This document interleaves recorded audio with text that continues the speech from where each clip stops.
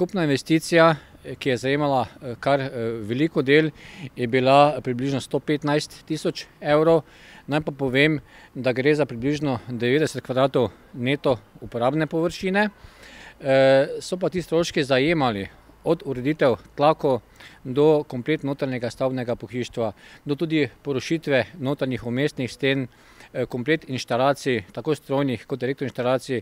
Vse naprej so pravzaprav nove telekomunikacije, notranja oprema, alarmni sistemi, vhodna vrata, avtomatizirana, se pravi, res kar nekaj zadev smo morali urediti. Tako temu primerno tudi potem izdatki, kot rečeno, približno sto petnajst tisoč evrov.